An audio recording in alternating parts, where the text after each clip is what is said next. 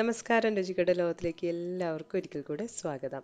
അപ്പോൾ ഇന്ന് നമ്മൾ അയലക്കറിയുടെ റെസിപ്പി ആയിട്ടാണ് അയല തേങ്ങ അരച്ചിട്ട് വെക്കുന്ന ഒരു റെസിപ്പി ആയിട്ടാണ് വന്നിരിക്കുന്നത്.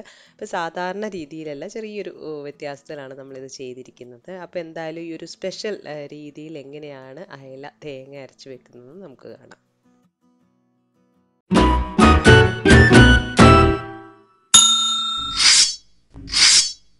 അയല തേങ്ങ അരച്ച് വെക്കാൻ വേണ്ടി മൂന്ന് അയലയാണ് നമ്മൾ എടുത്തിരിക്കുന്നത്. നന്നായി ക്ലീൻ ചെയ്തിട്ട് നമ്മൾ സാധാരണ കറി വെക്കുന്ന പോലെ കട്ട് കട്ട് ചെയ്ത് എടുത്തിട്ടുണ്ട് ഇനി ഇത് അരപ്പ് വേണം. അതിന് അരപ്പ് തയ്യാറാക്കാനായിട്ട് അരമുറി തേങ്ങ ചിരകിയത് എടുക്കുക അല്ലെങ്കിൽ ഞാനിത് കട്ട് ചെയ്തിട്ട് ഒന്ന് മിക്സിയിൽ ക്രഷ് ചെയ്തെടുത്തതാണ്. ഇനി ഇതിലേക്ക് കുറച്ച് കാര്യങ്ങൾ ചേർക്കാനുണ്ട്. അപ്പോൾ ഈ ഒരു മീൻ കറിക്ക് സ്പെഷ്യലായിട്ട് നമ്മൾ ചേർക്കുന്നത് കടുകാണ്. കടുക് അര ടീസ്പൂണാണ് ചേർക്കുന്നത്. അപ്പോൾ ഇത് കുറഞ്ഞിട്ടുണ്ടെങ്കിൽ അതിന്റെ ആ കടുകിന്റെ ടേസ്റ്റ് വരില്ല അതുപോലെ അധികം കൂടി കഴിഞ്ഞിട്ട് ഒരു കയ്പും വരും. അപ്പോൾ അത് ശ്രദ്ധിക്കുക. ഇനി രണ്ട് ടീസ്പൂണോളം മുളക് പൊടി നമുക്ക് ചേർത്ത് കൊടുക്കാം. പിന്നെ മഞ്ഞൾ വേണം കാൽ ടീസ്പൂൺ വേണമെങ്കിൽ കുറച്ചുകൂടെ ചേർത്ത് കൊടുക്കാം. ഇനി ഇത് നല്ലപോലെ അരച്ചെടുക്കുകയാണ്. അതിന് വേണ്ടിയിട്ട് വെള്ളം കൂടെ ചേർക്കുക വെള്ളം ഒരുപാട് ചേർക്കേണ്ട. ഒരു കാൽ കപ്പോളം വെള്ളം ചേർത്ത് നല്ലപോലെ തന്നെ നന്നായിട്ട് അരച്ചെടുക്കണം. ഇതാ നമ്മൾ നല്ലപോലെ അരച്ചെടുത്തിട്ടുണ്ട്. ഇനി നമ്മൾ മീൻ ചട്ടിയിലാണ് ഉണ്ടാക്കുന്നത്. അപ്പോൾ ഈ അരപ്പ് ചട്ടിയിലേക്ക് ചേർത്ത് കൊടുക്കാം.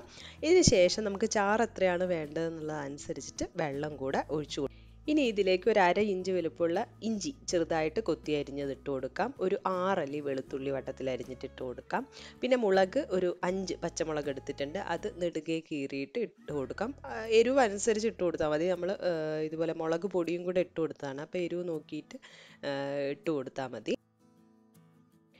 ഇനി ഒരു തക്കാളി കൂടെ നമുക്ക് ഇതിലേക്ക് അരിഞ്ഞിട്ട് കൊടുക്കാം.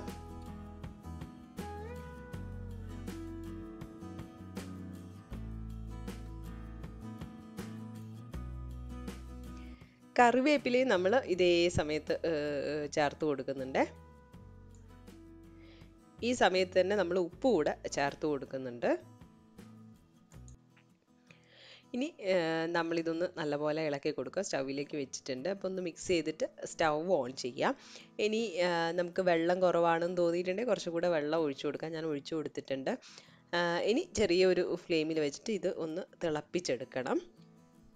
തിള വന്ന് കഴിയുന്ന സമയത്ത് നമ്മൾ ഇതിലേക്ക് മീൻ കഷ്ണങ്ങൾ ചേർത്ത് കൊടുക്കുകയാണ് മീൻ കഷ്ണങ്ങൾ മൊത്തത്തിൽ ഇട്ട് കൊടുത്തതിന് ശേഷം ഇതൊന്ന് ചുറ്റിച്ചെടുക്കുക അല്ലെങ്കിൽ സ്പൂൺ വെച്ചിട്ടാണെങ്കിൽ ശ്രദ്ധിച്ചിട്ട് ഒന്ന് ഇളക്കി കൊടുക്കാം. ഇനി നമ്മൾ പുളി ഉപയോഗിക്കുന്നത് വാളംപുളിയല്ല കുടംപുളിയാണ്. അപ്പോൾ അത് രണ്ടെണ്ണമാണ് അത് ഇട്ട് കൊടുത്തിട്ടുണ്ട്.